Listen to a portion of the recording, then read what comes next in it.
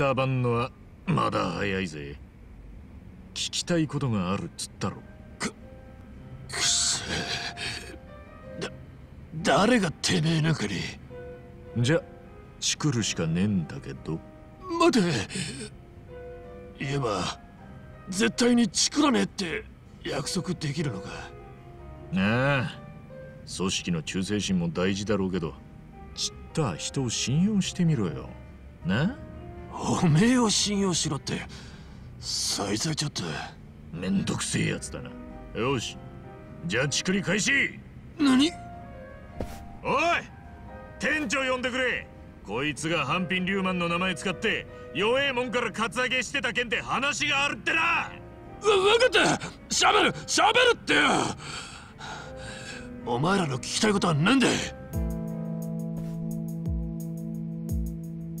ソープランドの店長？なんで馬淵さんがソープの店長なんて殺すんだ？あそこは星龍会のシマだぞ。何かの間違いだろでも今のところそう考えるのがストレートなんだ。まあ直接馬淵に聞いてみなきゃわからねえけどな。マジで犯人は馬淵さんなのか？私電話で聞いたのよ。手下がラオマーって呼んでいるの。確かに馬淵さんは直属の部下にはそう呼ばせてるけど。え？おいておめえだってラオマーって呼ぶんじゃねえのか？いや俺は呼ばねえ。だって俺中国語は喋れねえんだえ？あんたリューマンなんじゃねえのか？バカ。ハンピン・リューマンが結成されたのは俺らのじいさんの世代だ。確かにそいつらはみんな中国語を喋れただが2世3世にあたる俺ら世代は生まれも育ちも日本だだからその世代の中国語の能力は人それぞれ。俺が知ってる中国語なんてニーハオとシェイシェくらいのもんだ。国籍だけの中国人ってことか。ああ。でも国籍があればまだマシな方さ。不法滞在者の間に生まれた子供は戸籍さえなくて学校にも行けねえやつも多い。ニューマンには字が読めねえやつもたくさんいるんだ。一昔前のヤクザみてえなもんか。組織はそういう人間の受け皿にもなってるわけか。それも結束力の理由の一つだな。馬淵ってのはどんなやつなんだ？馬淵さんもこの町の貧困の家で生まれた。だがあの人は努力家でよ。死ぬほど勉強して一流の大学出て中国語英語さらに韓国語まで話せる。本人が切れ者だから側近の部下も頭が切れる人間しかつけねえ。俺なんか馬淵さんと口も聞いたことねえよ。じゃあ馬淵の居所は？知らねえよ。電話番号は？だから知らねえって。知るわけねえ。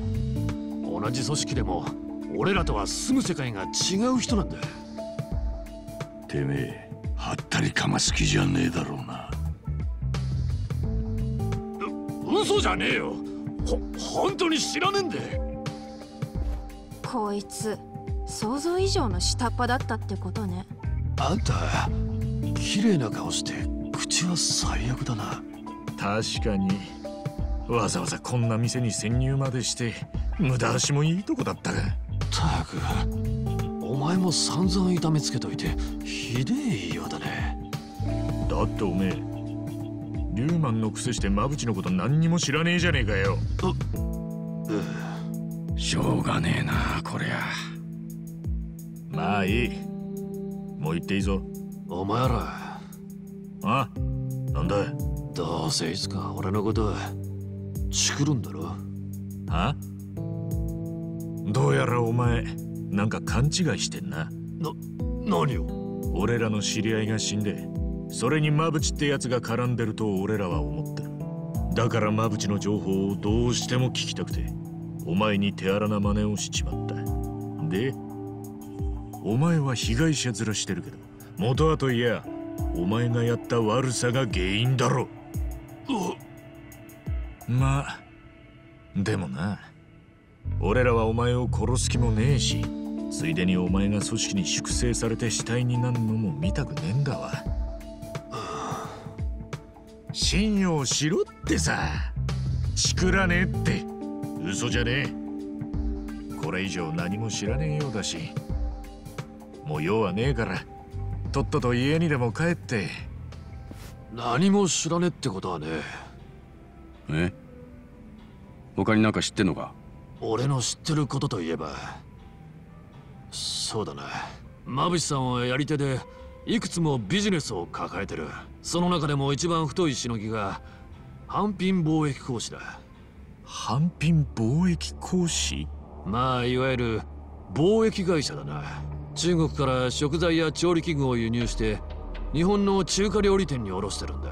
中華街の高級レストランだって馬淵さんの会社から仕入れてる店がある馬淵は中華街が嫌いなんじゃねえのか？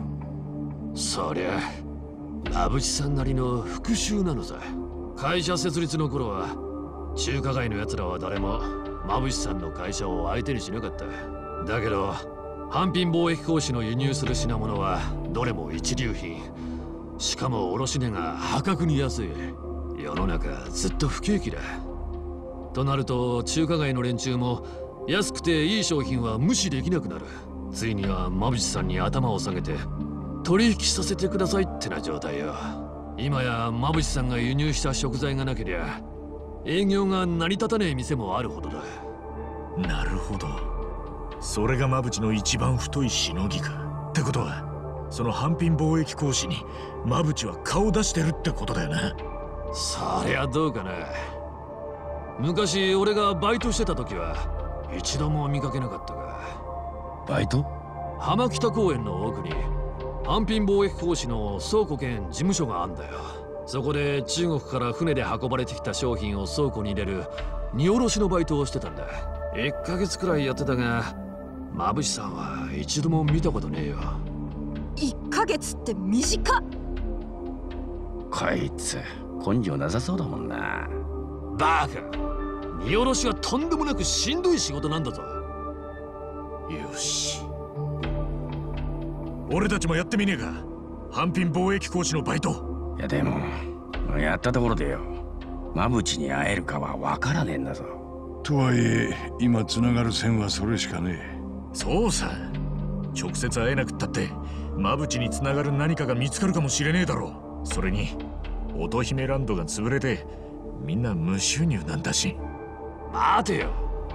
倉庫のバイトの多くがリューマンの若い奴らだ。お前らみたいな日本人が行ったところで怪しまれるだけだ。雇っちゃくれねえぞ。なるほど。じゃあまたあの人に頼むしかねえな。えだな。ハロワの神戸さんに相談するか。あの人ならうまいこと倉庫作業ぐらい斡旋してくれるかもしれん。ちょっとは給料も手に入るだろうし。お給料もらいながら情報も手に入る悪くないわね。荷下ろしは女には絶対に無理だ。そんな甘い仕事じゃねえ。バカにしないでよ。キャバ嬢は重労働なんだから。じゃあ決まりだな。明日の朝一にハロワに行って都合してもらおう。よし。そんじゃあ今日のとこは引き上げるか。あのよ。うん。俺がホームレスから金を取り上げてたこと本当に馬淵さんに言わねえでいてくれんのか？マジで怖えんだよ。馬淵さんは。何度も言わせんなよ。大丈夫だ。でもあんたもなんで急に反品貿易講師の話をしてくれたんだ？本当に内緒にしてくれんなら仮になっちまうからな。だからよ。借りたなんてやめてくれよ。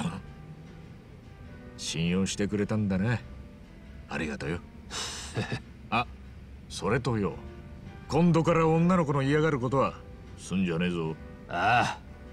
今度からはキスとかお触りだけにしとくそれならいいんだろ。一番。やっぱここでやっちまおうよ。いいや飲むだけにします。おとなしく飲むだけに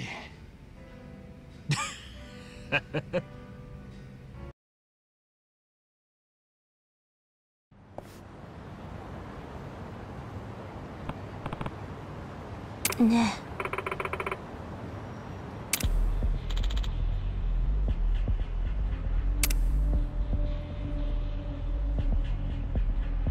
えおい。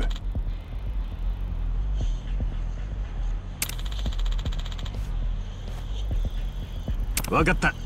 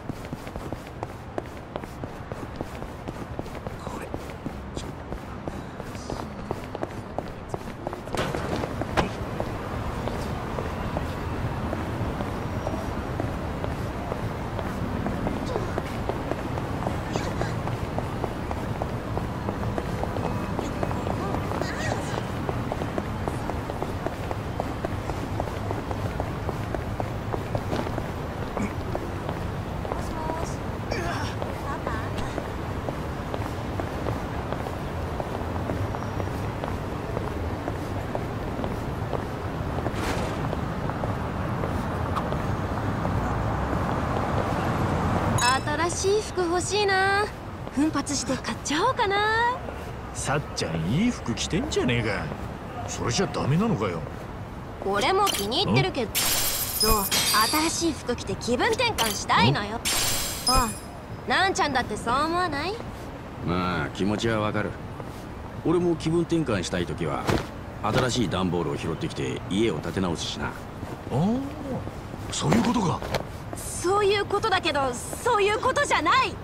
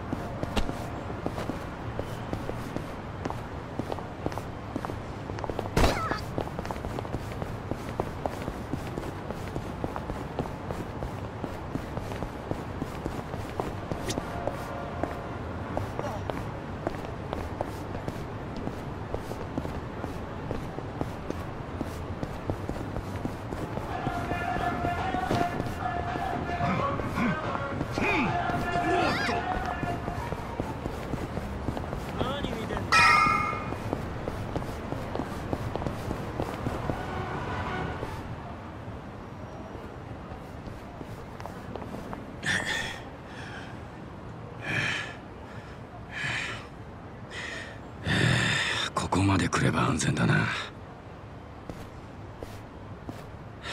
じゃあ俺らは自分の部屋に帰るからよ。明日の朝ハローワークの前で待ち合わせしよう。おい部屋に戻ったら3人で一杯やろうぜ。足立さんすっかり自分の部屋みてえだな。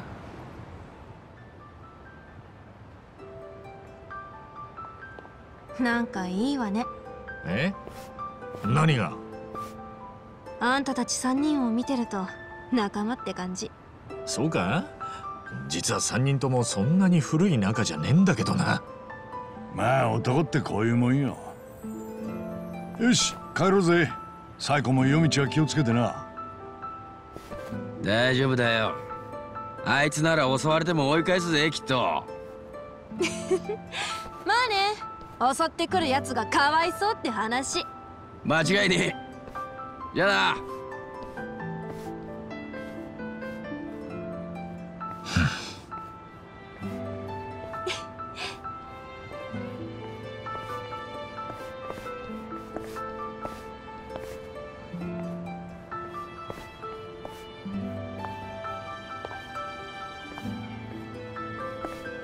あのよ。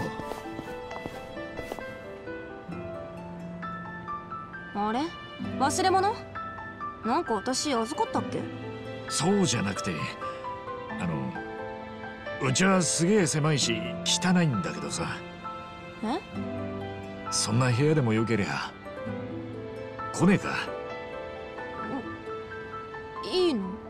おおその代わり後からやっぱ汚いから嫌だとか言うなよ。あんた優しいんだねん？なんでもない。ありがとう。